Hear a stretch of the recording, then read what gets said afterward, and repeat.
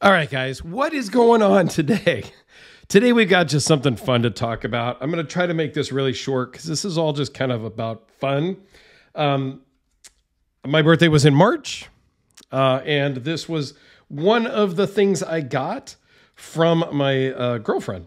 So this is the, I think it's called on Etsy a Viking pizza cutting axe. Is it even showing the whole screen? Um, it's you know, I've got a bit of a pizza collection thing going on. Um, I also got, I think I got this for Christmas time or as a housewarming. This is a another pizza cutting axe. I got a mini pizza peel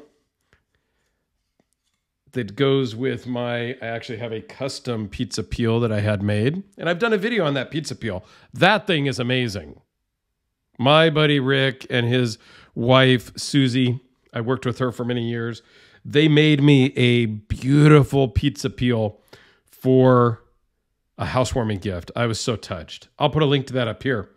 Um, I also got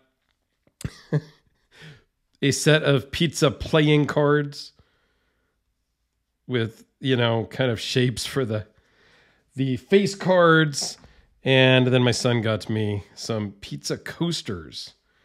Awesome. So I, I got kind of a pizza decor thing going. So when my girlfriend got me this and had it customized, so this is a one of one now. Um, we got some skulls. We've got some other stuff here. Somebody did comment when I posted on Facebook that that's not Viking stuff. That's this is that. I don't know. I don't know. I just go by what the Etsy guy said. Okay, that's all I can go by. So a couple of specs because that's what we do here on this channel, right? Overall length from the tip of the blade to the butt of the handle is just about nine and three quarters. Blade length is eight inches. Behind the edge is pretty thick at 0.090, and it is sort of sharp here and really dull up here. I may send this down to Alex and see if he can sharpen this up. I, I don't know. I, I, I, don't sharpen, okay? Um, our blade steel is metal. Don't know. And the handle is wood. That's about all I got, guys. It weighs in at one pound, 5.6 ounces. It's super cool. They're like 50 bucks, something like that. There's some options when I kind of searched Etsy. I don't have a specific link for where this one came from, but if you want a pizza cutting axe, just go to Etsy and type in pizza axe, and it will come up with several different variations of things like this um, with different um, engravings. Some have no engravings, different blade shapes, different handle. Like uh, there's actually a bunch of people making them and selling them on Etsy.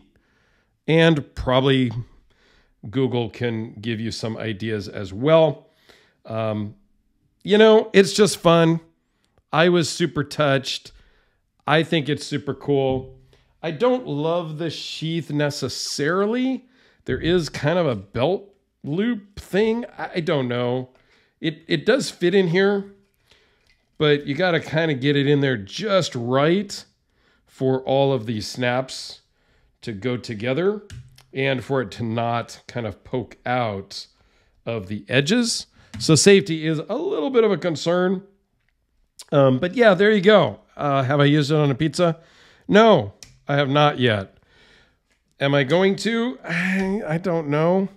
I think it was more designed to display in my kitchen cabinets. I have a couple of cabinets with the glass doors, like wood frame, but the glass doors that I can put those things up in there. So let me give you a couple of just quick, quick quick size comparison, so we're not going to belabor this. This is more just of a fun video that I thought you may or may not be interested in.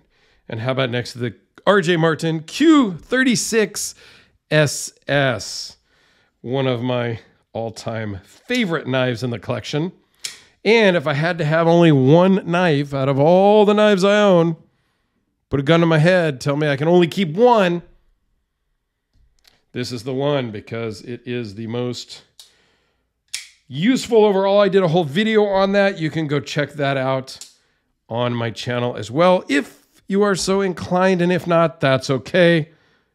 But as always, have a great day. And uh, thanks for checking this one out. I know it's a little goofy, but you know, I just wanted to share and thank my lovely girlfriend, Lindsay, for this amazing gift. Thank you all.